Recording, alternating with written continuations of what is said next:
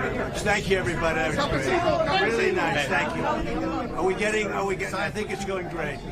I think it's a rigged deal here. We have a rigged country. We have a country that's corrupt. We have a country that's got no borders.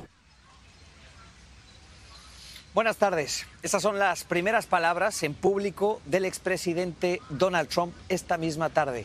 Venía de esta Corte Federal, un acto de campaña en un restaurante de Miami, el restaurante Versalles en el centro de la ciudad. Apenas salió de este lugar en donde se declaró no culpable de los 37 cargos de los que se le acusa y llegó hasta el Versalles, una parada obligada para los candidatos a la presidencia de Estados Unidos.